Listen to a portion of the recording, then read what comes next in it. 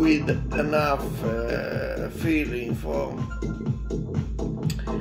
the music as a whole, you can always make variations to the theme, so to say.